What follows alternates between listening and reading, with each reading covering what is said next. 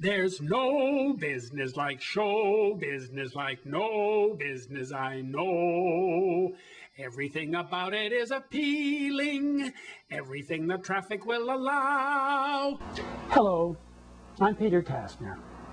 You know, many actors say to me, Pete, you were in the business for 30 years. How do you feel about acting under the influence?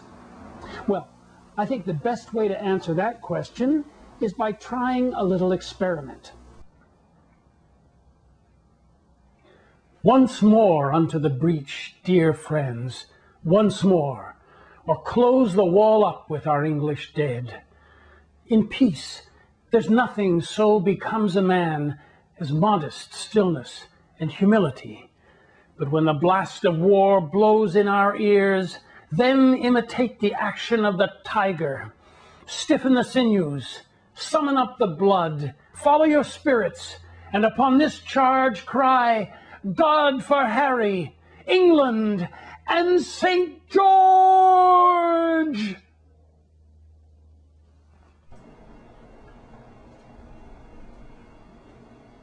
Once more to the breach, dear friends. Once more, I'll close war up the English dead. Beach there's nothing so becomes a man's modest stillness, humility. When the blast of war blows in our ears, then imitate the action of the tiger. Excuse me. Stiffen the sinews. Pull hard the breath. Where the fuck is it? I don't know where the mother is. God for Harry. Hey, um, and say George.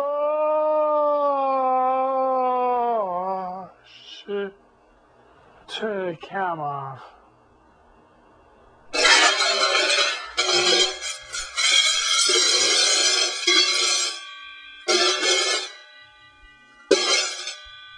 Well, there you have it. Acting under the influence. Do watch out for those pesky blackouts and the real possibility that you'll pull the tripod right down on your own head. And you can give your hip a pretty good smack at the same time. Fortunately, my wife was there at the time. Well, Marlon Brando, we won't be trying that again, will we? Don't miss the next in my series, Tips for Young Actors, entitled Acting with Chickens.